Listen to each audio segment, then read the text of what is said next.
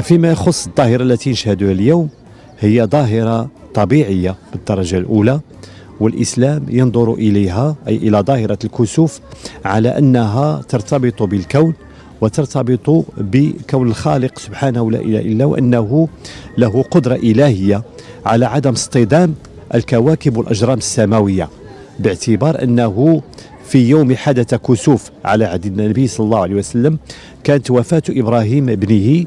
وجمع الناس فقال لهم إن الشمس والقمر آيتان من آيات الله لا يتأثران بموت أحدكم أو ازدياد أحدكم. معنى هذا أن الإسلام هو دين علم.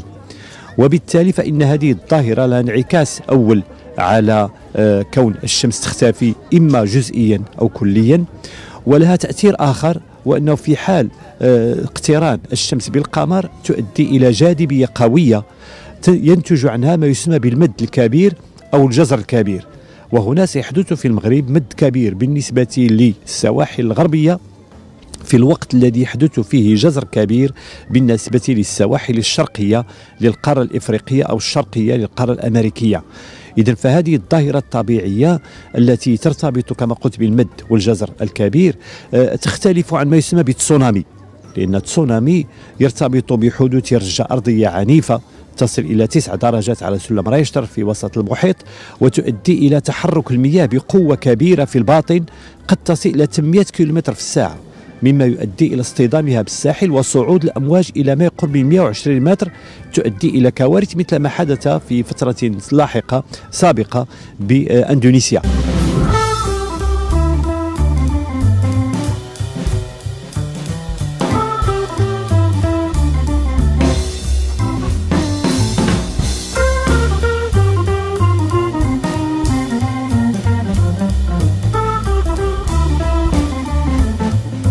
الكسوف اللي تنشوفوا اليوم هو كسوف جزئي donc une éclipse partielle. اللي آه، تقريبا غادي توصل 54%